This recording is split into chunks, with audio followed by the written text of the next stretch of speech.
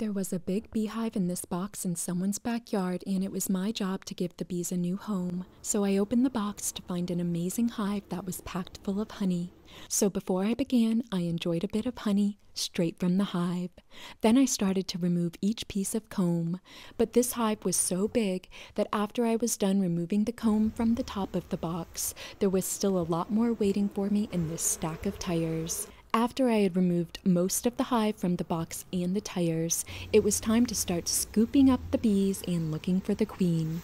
And after a lot of scooping and searching, I found the queen on the outside of the box. So I put her in a clip and I put her into the new hive.